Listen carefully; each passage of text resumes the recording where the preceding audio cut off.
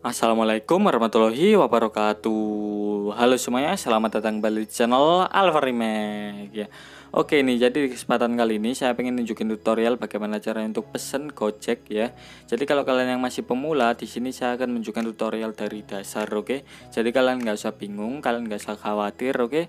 Nah, jadi di sini itu kalian tinggal klik aja untuk lokasinya, kalian klik OK di sini atau kalian bisa aktifin aja secara manual manual GPS-nya ya.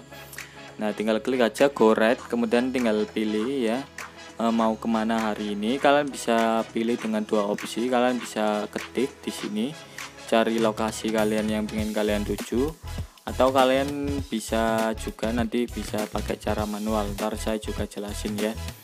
Nah, misalnya di sini saya pengen pergi ke ATM BCA Sidoarjo. Nah, di sini banyak banget ya. Atau kalau kalian yang bisa pakai cara manual ya dengan cara menggeser-geser seperti yang saya lakukan. Nah, kalian geser-geser sesuai dengan keinginan kalian ya. Nah, misalnya saya pengen ke ATM BCA kan tadi kan. Jadi di sini tinggal kalian klik aja uh, set jemputnya atau kalian bisa tambahkan catatan misalnya 30 menit ya, Pak ya.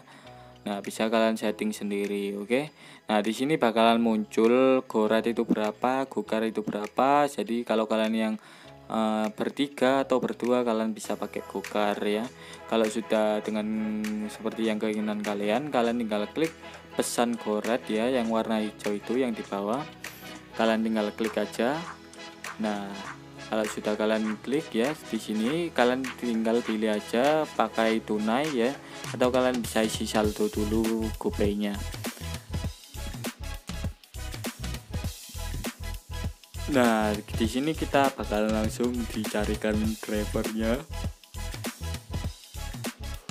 Nah, kita dapat uh, drivernya namanya Pak Didi Sus, Pak Didi Santoso ya. Nah, di sini dia ngechat baik titik jemput sesuai map ya. Nah, tinggal klik OK sip, kalian bisa pakai fitur pesan cepat dari Gojek ya. Jadi kalau kalian yang emang buru-buru, kalian bisa langsung aja pakai uh, fitur ini. Nah, di sini dia itu Pak Didi ini ngomong saya pakai bit hitam dengan plat nomor itu.